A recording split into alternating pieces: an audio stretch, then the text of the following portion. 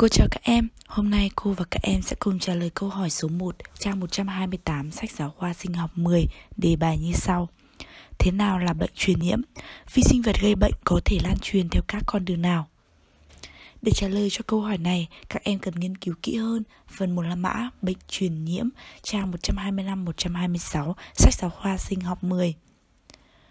Thứ nhất, chúng ta cần xác định bệnh truyền nhiễm là bệnh lây từ người này sang người khác.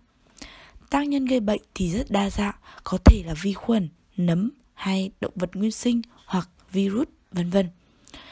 Tùy theo tác nhân gây bệnh mà có thể lan truyền theo các con đường khác nhau và có thể lan truyền theo hai con đường là chủ yếu.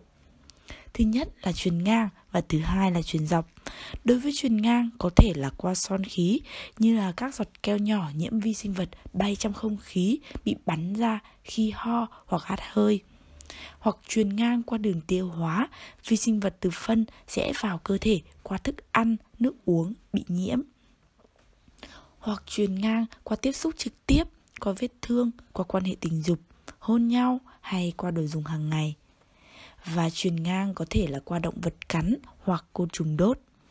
Đối với phương thức truyền dọc sẽ là truyền từ mẹ sang thai nhi qua nhau thai, nó nhiễm khi sinh nở hoặc qua sữa mẹ và sau một thời gian ủ bệnh, các triệu chứng sẽ xuất hiện như viêm và đau tại chỗ hay tác động tới các cơ quan ở xa.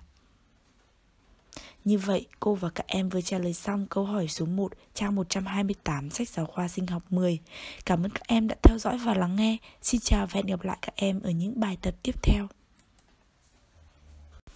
Cô chào các em, hôm nay cô và các em sẽ cùng trả lời câu hỏi số 1 trang 128 sách giáo khoa sinh học 10 đề bài như sau. Thế nào là bệnh truyền nhiễm? Vi sinh vật gây bệnh có thể lan truyền